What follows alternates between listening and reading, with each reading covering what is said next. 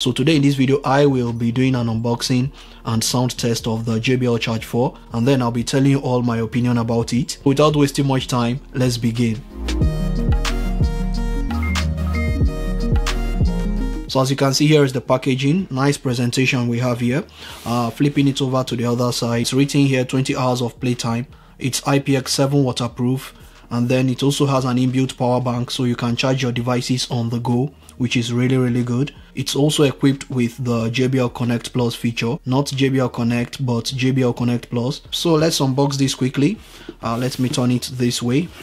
Well so as you can see opening the box you have a very nice photo at the top here. It says play and charge endlessly. And at the top here it's written Charge 4. Yep so let me just take these out. And then you have the speaker. Let me just take it out. Wow it's got some weight to it uh, let me put that aside and then let me see what else we have in the box. Uh, let me just take these out quickly. Okay you have a pack here containing some accessories. Uh, first of all here you have a standard USB to USB-C cable for charging it up.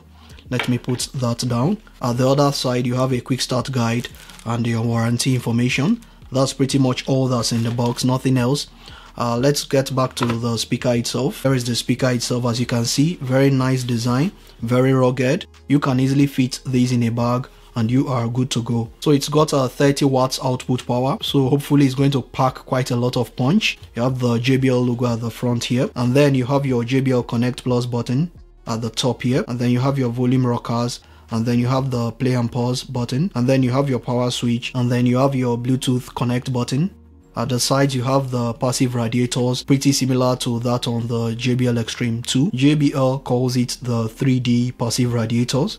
Opening the flap you have your ports. You have a standard USB port here for charging devices on the go and then you have your 3.5mm auxiliary port for wired listening and then you have your USB-C port for charging these up. Thank goodness these use USB-C. That's pretty much all for ports. Underneath you have your battery indicator here.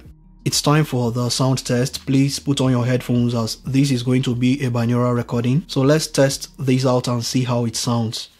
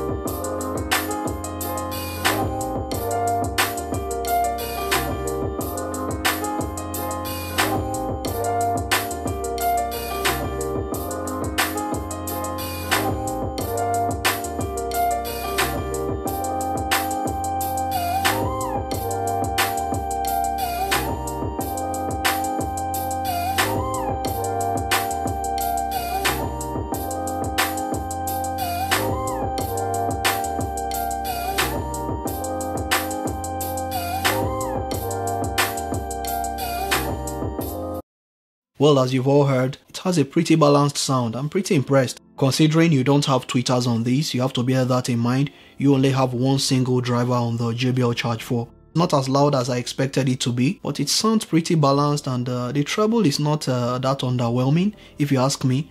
It didn't really sound muffled as I thought it was going to be. Uh, it sounds pretty clear and balanced. You have a very nice bass. The bass is not really boosted. It just sounds natural. Anything above 60% you lose a bit of bass. 50 to 60% volume is the sweet spot. I'm curious to know how this sounds uh, when compared to the XB21 and the JBL Flip 4. I'll be doing further sound tests. Make sure you are subscribed to see that. The only problem is that it's quite pricey. Yeah, it's not cheap uh, you can get uh, good sounding speakers for I think almost half the price of these. Be sure to check the link in the description section for updated prices of these. As always, feel free to check out other nifty gadgets on this channel. Thanks so much for watching. I am Ezekielo and I will see you all in the next video. Adios.